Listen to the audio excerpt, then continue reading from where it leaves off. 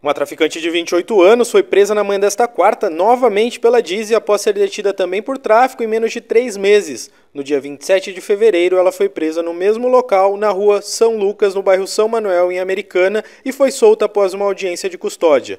Ela operava da mesma maneira, vendendo drogas pelo portão da residência. Com ela foram encontrados 60 pedras de crack e 16 porções de maconha. Ela foi presa em flagrante e conduzida à cadeia pública de Montemor, onde vai passar por mais uma audiência de custódia. Com essa operação, a Dizzy deflagrou a sétima fase da Operação São Manuel, que busca intensificar o combate ao tráfico de drogas nos bairros São Vito, Vila Bertini e São Manuel, após denúncias anônimas. Henrique Fernandes para a Rede Todo Dia.